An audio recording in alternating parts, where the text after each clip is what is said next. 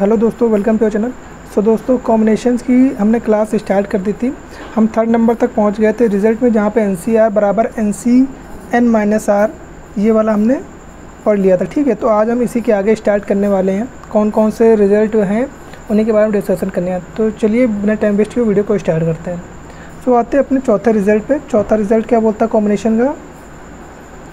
Fourth result हमारा बोलता है N C R plus N C R minus one equal to N plus one C R ये होता है। अब देखिए, इसमें कई सारे हैं। मैं आपको इसके थोड़ी सी शॉर्ट ट्रिक भी समझाता हूँ कि कैसे क्या है। ठीक है? अब देखिए, इसको आपको याद कैसे करना है? यहाँ पे एक चीज़ ध्यान रखिएगा कि जैसे यहाँ पे देखिए, ऊपर क्या लिखा हुआ है? ऊपर लिखा हुआ हमारा एन है ना? ऊपर हमारा एन लिखा हुआ ना? ठीक है, ये देखिए, ये ये एन एन लिखा हुआ है तो ऊपर हमारा क्या हो जाएगा? ऊपर हमारा एन प्लस वन हो जाएगा। नीचे हमारा क्या रहे? आर और आर माइनस वन इसमें इन दोनों में बड़ा कौन सा है? हमारा आर बड़ा है ना?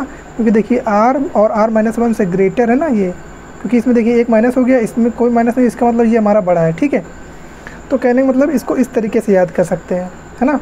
कि नीचे जो बड़ा होगा उसको लिखेंगे, ऊपर वाले में एक प्लस करके जोड़ देंगे, ठीक? तो इस तरीके से इसको याद रखना है।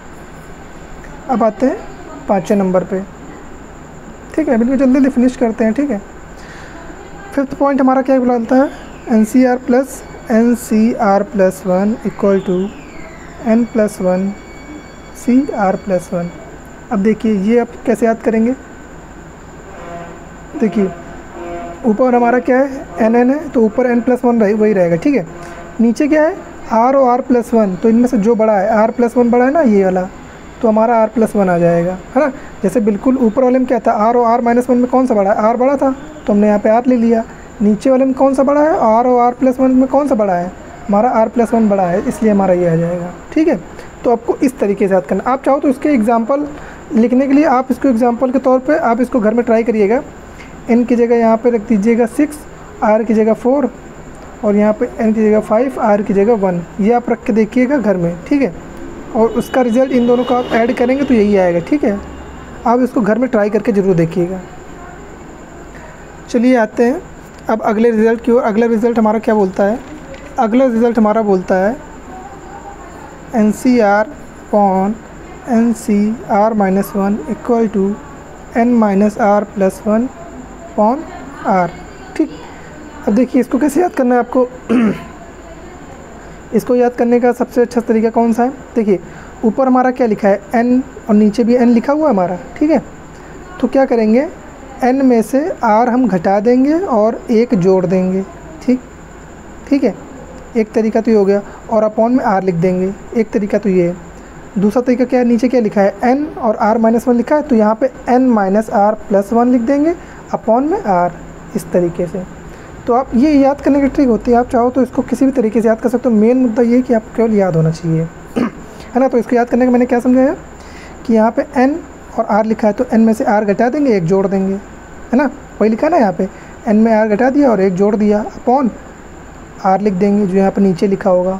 ठीक है? या फिर नीचे वाले का रेफरेंस लेके कर सकते हैं कि एन में से हमने ये घटा दिया। तो एन में से जब ये घटाओगे आर माइनस वन तो ये क्या हो जाएगा? N minus R plus one upon R हो जाएगा। है ना? आर ये आर लिखा था ना? आर नीचे लिखा है ना? ठीक है, ये वाला। तो इस तरीके से आप इसको याद कर सकते हैं। ठीक है ना? तो आप इसको याद ज़रूर करिएगा। इसमें आप घर पर रख के, घर पे इस पर ट्राई करिएगा कि दोनों का रिज़ल्ट सेम आ रहा है कि नहीं? L H S R H S वाला। यहाँ पर एन बराबर आप फोर लीजिएगा आर बराबर दो ले लीजिएगा। ठीक है? इस तरीके से। अब आते हैं सेवन्थ नंबर पे। सेवन्थ नंबर हमारा क्या बोलता है? Result N C R equal to N upon R, N minus one, C R minus one. देखिए, रिज़ल्ट को हम चाहे तो प्रूव करा सकते हैं, उसके एग्जांपल भी कर सकते हैं, लेकिन उससे क्या होगा? उससे काफ़ी ज़्यादा टाइम कंज्यूम हो जाएगा, ठीक है ना? तो इसलिए मैं आपको ये इसलिए बता रहा हूँ कि आप इसको घर में खुद कर सकते हैं। मैं आपको रिज़ल्ट बता दूँगा तो आप उसको घर में ट्राई करके L H S R H S proof कर लेंगे, ठीक है? इतना तो मैंने पिछली क्लास में बता दिया कि किस तरीके से आप उसको प्रूफ कर सकते हैं, ठीक? अब देखिए ये हमारा जो सातवां नंबर था, है ना? ये हमारा जो सातवां नंबर था, ये इस तरीके से होगा। एन सी आर बराबर N upon R N minus one C R minus one अब इसको कैसे याद करेंगे? देखिए, है ना? दूसरा कलर लेना इसमें। दूसरा कलर है नहीं क्या इसमें? चलिए ठीक है, चलिए यही याद कर लेते हैं। अब देखिए, यहाँ पे एन सी आर बराबर एन अपॉन आर देखिए यहाँ पे ऊपर एन लिखा, नीचे आर लिखा तो एन अपॉन आर तो आप लिख लेंगे ना? इतना तो आप लिख ही लेंगे। अब देखिए ऊपर एन है तो ऊपर एन माइनस वन लिख लिया हमने सी नीचे क्या लिखा? आर लिखा तो नीचे भी आर माइनस वन लिख दिया, है ना? इसको इस तरीके से लिख सकते हैं। ठीक है ना? तो कुल मिला कहने का मतलब मेरा ये है कि आप इसको याद केवल करना है, ठीक है? कैसे याद करना है, उससे मतलब नहीं है, केवल याद होना चाहिए, क्योंकि कभी कभी ये काम इसके पड़ जाता है ना तो इसलिए आप इसको याद रखिएगा। अब देखिए एथ नंबर हमारा पॉइंट क्या कहलाता है? एथ नंबर पर हमारा पॉइंट क्या बोलता है? वेन एन इज़ ऑड विषम है, ठीक है? Then N C R is maximum अब ये पूछ लेगा कि हमारा एन ऑड है तो एन सी आर मैक्सिमम किस पर होगा? है ना? तो एन सी आर किस पर मैक्सिमम होगा? जब आर हमारा होगा N minus one by two और या फिर N plus one by two इस पे इस पे हमारा मैक्सिमम होगा, है ना? ठीक? और यदि इवन है तो उसका क्या केस आएगा? है ना? ये भी डाल लीजिए। नाइन्थ नंबर पे डाल लेते हैं। नाइन्थ नंबर हमारा क्या बोलता है? When n is even n C r is maximum at r बराबर एन बाई टू ठीक है? ये देखिए। यहाँ पे क्या बोल रहा है? एन इज़ ऑड एन हमारा कैसा? है ऑड है। तो एन सी आर मैक्सिमम कब होगा? एन सी आर मैक्सिमम तब होगा जब हमारी आर की value n up n minus one by two या फिर n plus one by two होगी। ये होनी चाहिए, है ना? तो ये वाला आप इसको इस तरीके से याद रखेंगे कि आर बराबर n minus one upon two और n plus one by two क्योंकि देखिए विषम में क्या होता है? दो आते ही आते हैं और सम में क्या होता है? एन बाई टू आपको करना सीधे सीधे सपोज़ करिए यहाँ पे एन हमारा बीस दिए था तो बीस बटे दो तो आर हमारा कितना आ जाएगा? आर हमारा आ जाएगा दस, है ना? मैक्स इसमें वाले में इवन वाले में। और यहाँ पे मान लीजिए ग्यारह दिया हुआ था हमारा विषम तो ग्यारह माइनस वन अपॉइंट टू और ग्यारह प्लस वन अपॉइंट टू तो यहाँ पे कितना आ जाएगा? यहाँ पे पाँच आ जाएगा, और यहाँ पे कितना आ जाएगा? छः आ जाएगा। तो ये हमारी आर की वैल्यू आ जाएगी, है ना? पाँच और छः ठीक? तो इस तरीके से आप इसको करेंगे, ठीक है ना? और इसमें देखिएगा, इसमें कौन कौन से एक, इसमें कुछ थोड़े से रूल हैं, फिर इसके बाद से कुछ प्रॉब्लम है, उसको देखते हैं। पहले यहाँ पे रूल्स के बारे में डिस्कशन कर लेते हैं ना। रूल क्या है हमारा? देखिए रूल हमारा क्या बोलता है? रूल हमारा बोलता है, ये कॉम्बिनेशन की सब बात हो रही है। तो कॉम्बिनेशन में क्या है? एन में से आर ठीक है? एन में से आर अगर हम लेंगे और एक्स क्या होगा?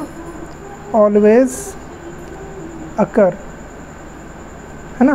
कहने का मतलब एन में से आर हम ले रहे हैं और एक्स ऑलवेज अकर हो रहा है, तब इसमें कौन सा फॉर्मूला लगेगा? तब इसमें लगेगा n minus x C r minus x ये इस तरीके से है, ठीक है? है ना? तो कहने का मतलब ये है कि एन में से आर और एक्स हमेशा वही आ रहे हैं। अकर का मतलब होने होने का मतलब क्या होता है? ऑलवेज अकर हो रहे हैं, हमेशा आ रहे हैं। एन में से एक्स घटा देंगे सी आर में से एक्स घटा देंगे, इस तरीके से हो जाएगा ये। ठीक है ना? रूल नंबर डाल दीजिए, कुछ भी डाल दीजिए, इसको वन डाल दीजिए सेकंड कुछ भी डाल दीजिए, ठीक? रूल सेकंड डाल दीजिए, कुछ भी डाल दीजिए। और देखिए, अब इसमें क्या है? एन में से आर और एक्स नेवर आकर कभी नहीं आ रहे हैं ना? मतलब कहने का मतलब कभी साथ साथ नहीं आ रहे हैं। तो इसका क्या हो जाएगा? N minus x C r तो इसका इस तरीके से हो जाएगा n minus x C r n में से एक्स तो घटेगा, लेकिन आर नहीं घटेगा, है ना? क्योंकि दो एक साथ नहीं लेने होते हैं। एक को एक साथ लेना होता है ना? दो नॉट कंबाइन है ना? एक साथ नहीं लेना होता है, ठीक है?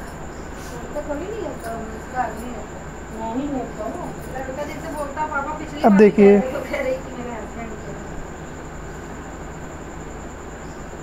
जैसे रूल नंबर यहाँ पे देख लेते हैं रूल नंबर तीसरा। रूल नंबर तीसरा क्या है? एन ऑब्जेक्ट्स को आर पर्सन में अगर डिस्ट्रीब्यूट करेंगे आर पर्सन में डिस्ट्रीब्यूट करेंगे और कितने भी ऑब्जेक्ट हों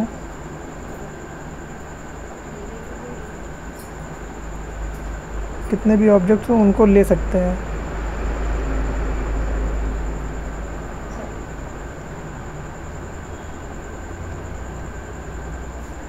ना, तब क्या होगा? तब कॉम्बिनेशन कैसे लगेगा?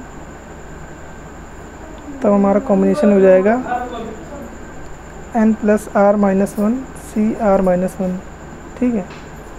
तब क्या होगा? एन में से आर को जोड़ेंगे और एक माइनस कर देंगे और आर में एक माइनस कर देंगे, ठीक है?